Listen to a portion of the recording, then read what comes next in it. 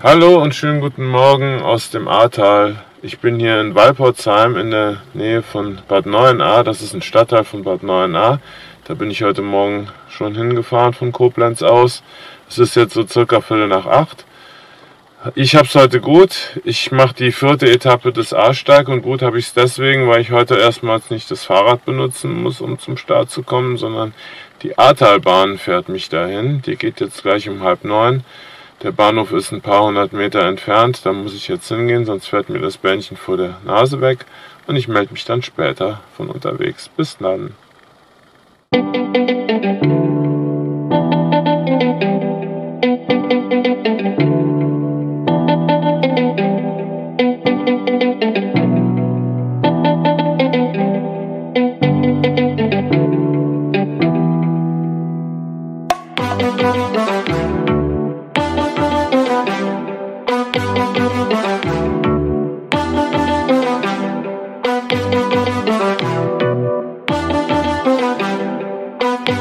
Nächste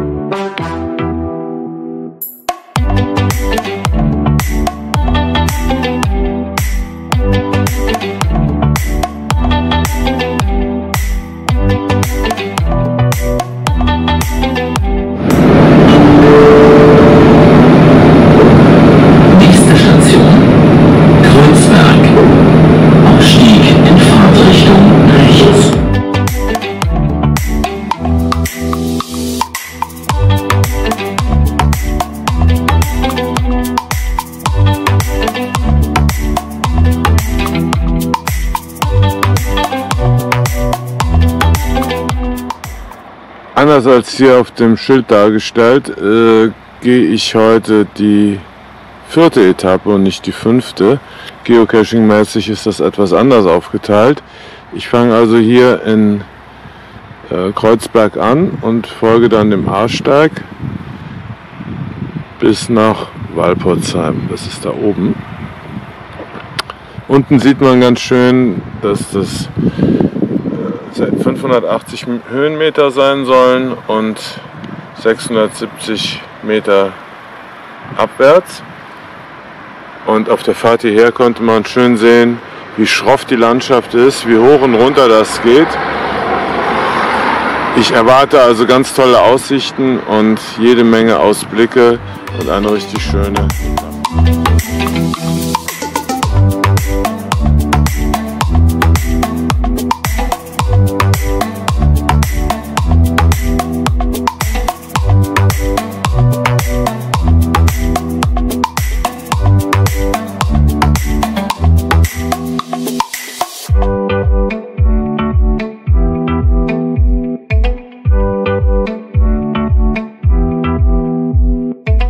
Also hier geht es gleich richtig hoch, dann auf zu den ersten Höhenmetern.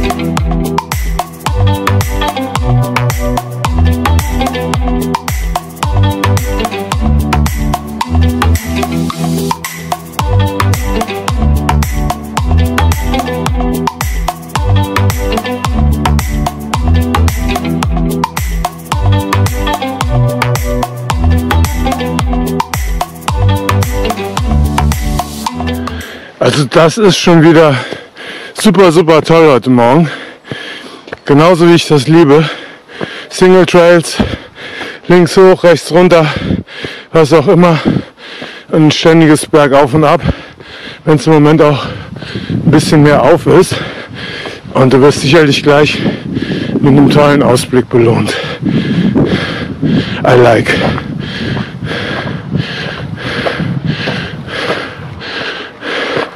Guckt euch das mal an hier. Ist das nicht spitze?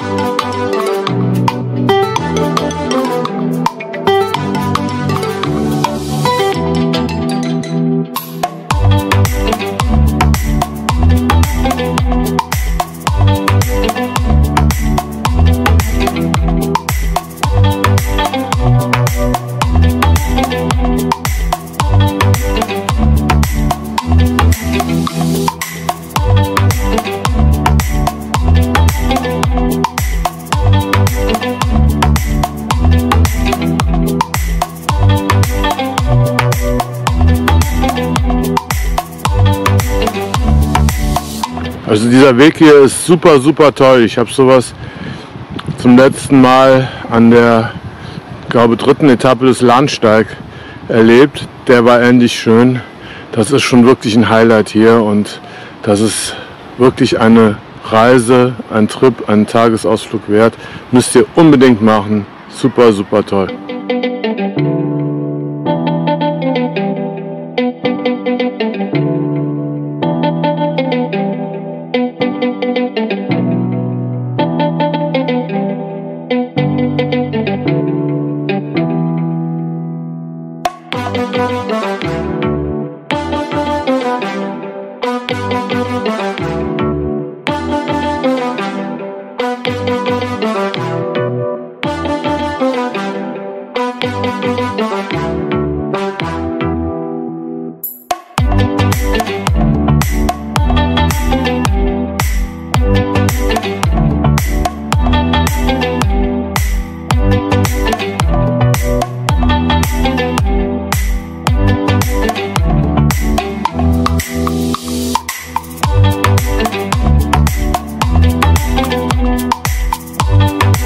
Wegen der Wegführung, weil das ziemlich steil war und wegen der damit verbundenen vielen Filmerei hänge ich ein bisschen in der Zeit hinterher. Ich habe in einer Stunde gerade mal dreieinhalb Kilometer geschafft.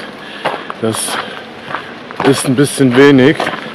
Jetzt geht es hier mal ein Stück an der A entlang, unten am Fluss. Da kann ich mal richtig ein paar Meter machen, bevor dann gleich wieder der nächste Anstieg naht.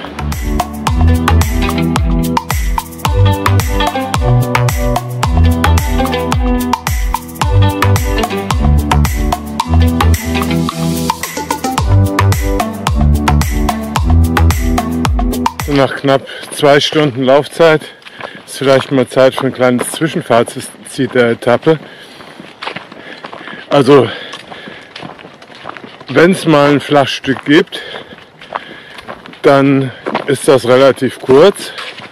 Ansonsten geht es entweder hoch oder runter und das richtig, richtig steil. Also nicht nur ein bisschen, sondern sehr, sehr steil. Sowohl bergauf als auch bergab. Und das ist Wandern genauso wie ich das mag. Das macht riesigen Spaß.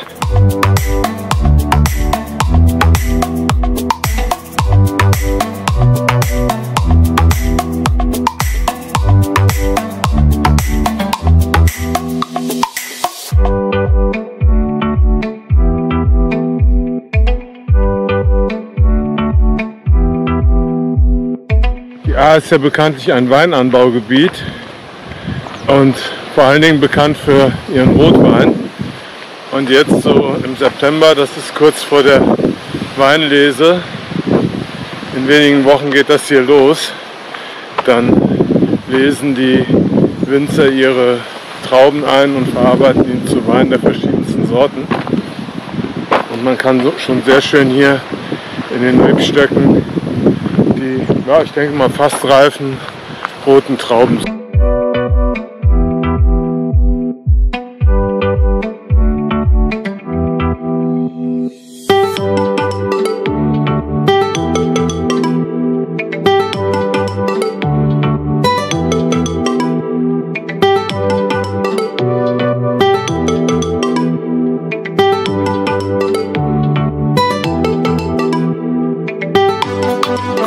Hier in der Gegend sieht man auch viel mehr Leute auf dem Ahrsteig spazieren oder wandern.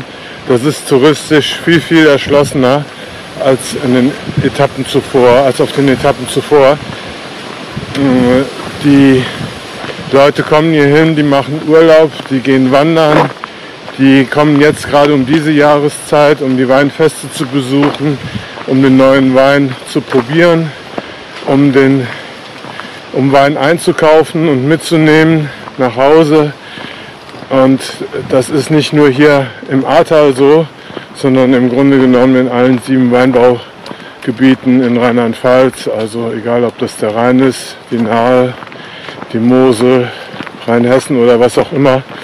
Schaut euch mal von meinen YouTube-Freunden Ratu und Gede das Video zu deren Tour am, an der Deutschen Weinstraße an. Das ist auch sehr, sehr schön und sehr informativ. Dort wurden die Einheimischen interviewt und die Radreisenden. Das haben die beiden sehr, sehr schön gemacht. Ich verlinke euch das mal unten in der Videobeschreibung. Und dann schaut euch das einfach mal an.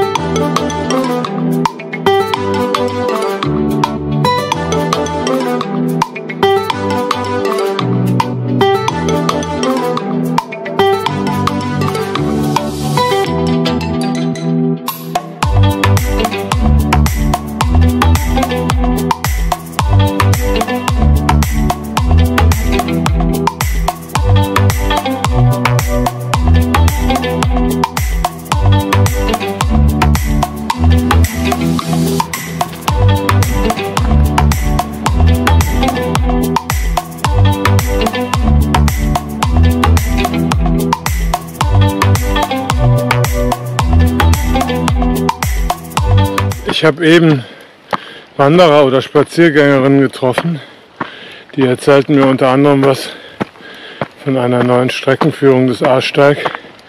Ich weiß nicht, ob das richtig ist, aber ich bin jetzt völlig anders gelaufen, als es auf der Karte, die ich mir zu Hause gezogen habe, dargestellt ist.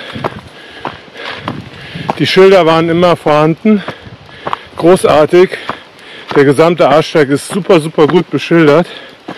Und ich vermute mal, dass sich die Betreiber irgendwas Neues einfallen gelassen haben, dass die Wegstrecke etwas anders, vielleicht etwas attraktiver gestaltet wurde, als sie es zuvor war. Ich weiß es nicht.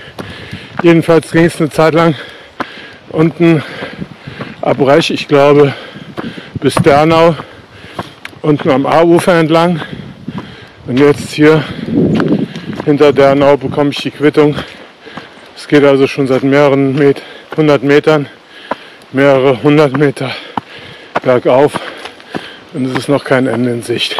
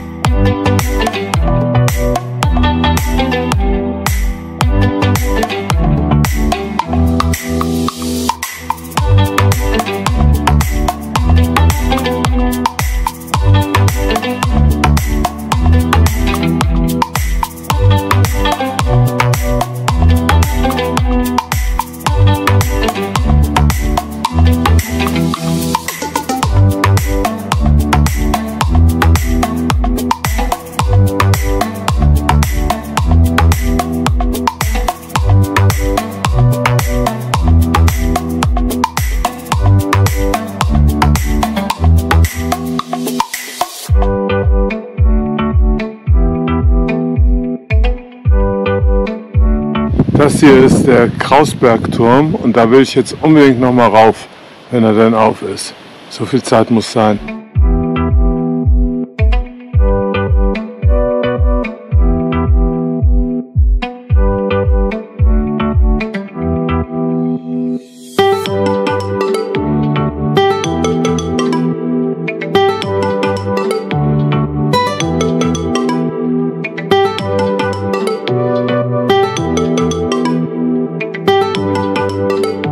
Also wenn sich irgendein Aufstieg lohnt, dann ist das der hier. Das ist ja wohl nur genial. Schaut euch das mal an.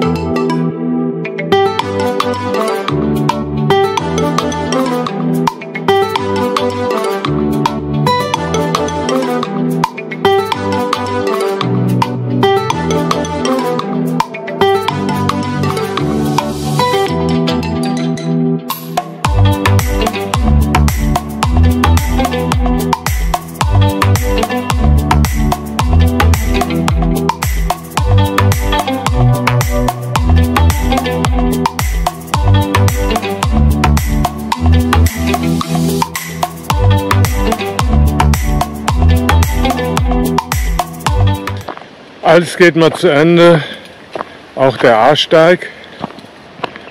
Ich befinde mich jetzt mittlerweile auf dem Abstieg nach Walporzheim. Das ist noch ungefähr ein Kilometer bis zum Auto. Dann ist auch die Etappe zu Ende und das komplette A-Steig-Vorhaben. Ob ich dann noch weitergehe, muss ich mich erstmal schlau machen, wie das funktioniert. Vielleicht gibt es ja noch eine Fortsetzung bis, bis Sinzig runter. Aber Geocaching-mäßig ist hier alles jetzt erstmal erledigt.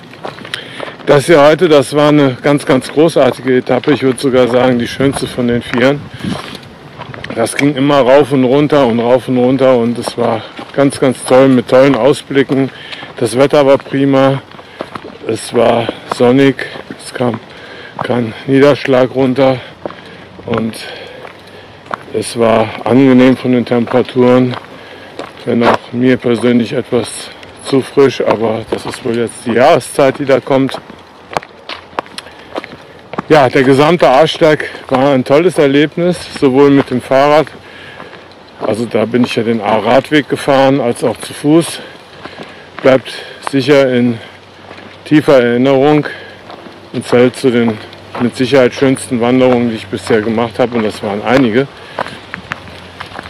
Ich sage Danke fürs Zuschauen. Tschüss, bis zum nächsten Mal und bleibt noch dran. Es gibt natürlich wie immer noch das Fazit zur heutigen Etappe, die Streckendaten und natürlich die Streckendaten und alle, alles, was man so braucht für, die, für den gesamten Arschsteig. Ich sage Tschüss, bis zum nächsten Mal, bleibt gesund. Bis dann.